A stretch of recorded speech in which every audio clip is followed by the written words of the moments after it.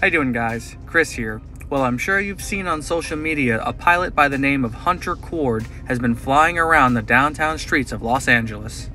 It has been described as a drone-like aircraft, but this is definitely an experimental class of air sport aircraft. Here you see Hunter and his co-developers holding up the aircraft, and they claim that it can transport up to 500 pounds of payload. This kind of aircraft development does require certification and licensing from the FAA. And as you can see, the pilot has made many precautions to master the characteristics of the aircraft's performance. And this is not the first craft of its kind. Hoverboard. Where is he? Here. There!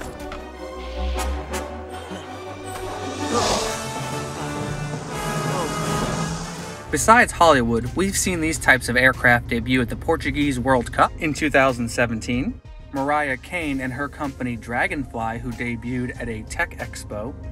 There's also other design variants like the turbine fan version that Franky Zapata flies. I think my favorite variant is the Iron Man version that David Mayman flies.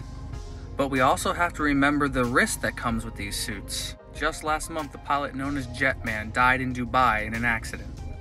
So investors and manufacturers are turning to more stable platforms for future aerial thrill-seeking applications, like this version of a flying Formula One car. But it's much more likely that individual flying apparatuses will look more like this with redundancies built in. But the people are gonna buy what the people want, and if they see a guy flying around on a hoverboard, they're gonna want one too.